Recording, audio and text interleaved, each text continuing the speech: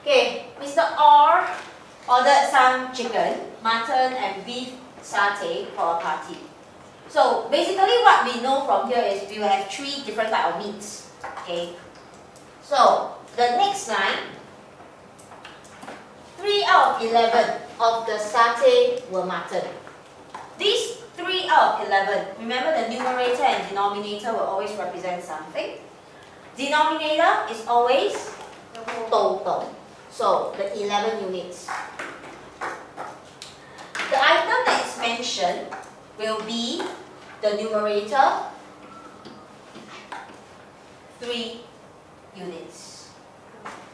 Okay, with this of course we can draw our one bar model which is made up of 11 units.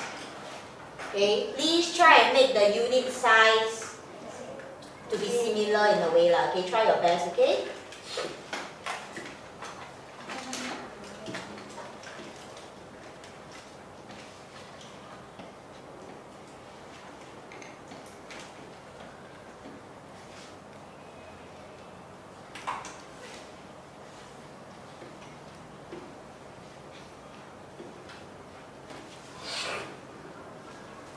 Okay, total units 11.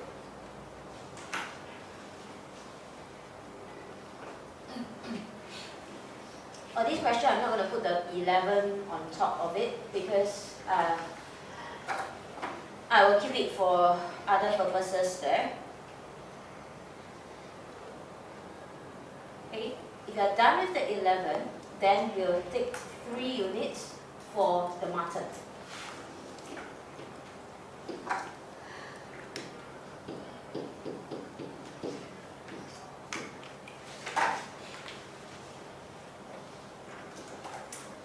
The thing that is different for this question compared to the example is because of the next line. Okay, the next line mentioned that he ordered 16 more sticks of chicken satay than mutton satay. If you look at what we have just drawn, mutton satay is 3 units.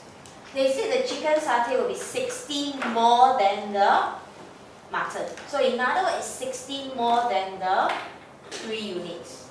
Okay? We won't know 60 represent how many units. So the only thing we can do, right, okay, we will just roughly gauge or roughly put. But of course, we must put it longer than 3 units. So example, if I put it something like this, something like this, right, for chicken.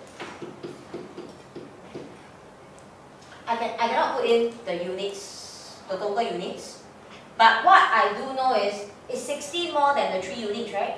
So the 1, 2, 3 units on top here, to the part that I draw the arrow to, this will be 60. Take note, the 3 unit and the extra part here, the extra part we put the 60. Okay, we don't put it with the 3 units. Understand? Okay?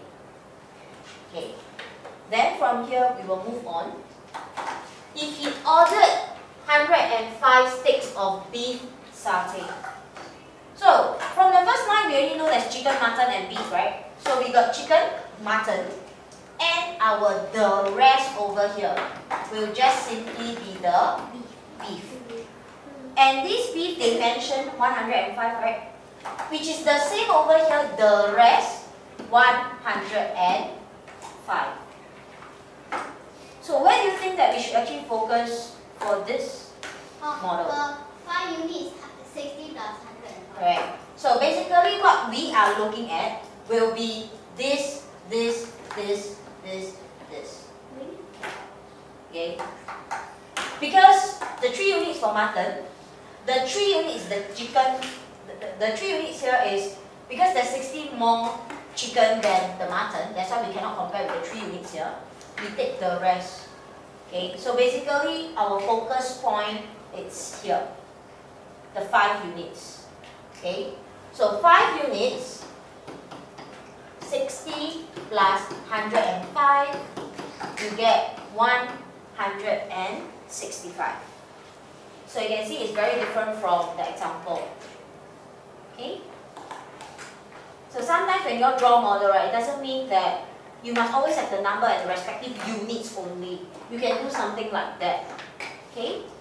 So 5 units 165. Now we look for 1 unit.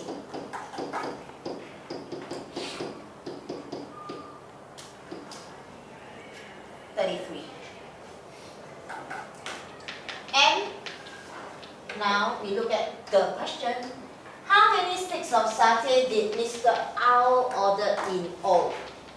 Means total. So total, remember our total units is 11. So we look for 11U.